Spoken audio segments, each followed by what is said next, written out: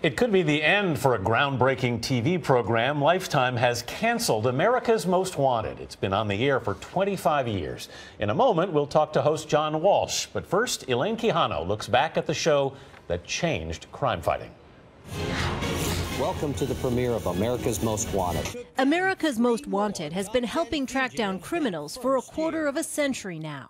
It's the best thing for law enforcement that's happened in a long time. Host John Walsh created the first of its kind crime fighting show back in 1988, following the abduction and murder of his own son.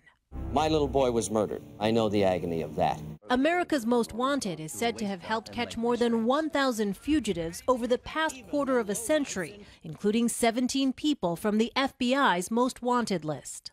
The show is also credited with helping to bring home dozens of missing children, including Utah teenager Elizabeth Smart. She'd been captive for more than seven months when someone recognized her kidnapper from the show and called police. America's Most Wanted helped save Elizabeth. And the manhunt starts right now. America's Most Wanted was a mainstay on Fox for more than two decades before moving to Lifetime. While it did not get renewed, the network says it's developing a pilot for a new show featuring Walsh.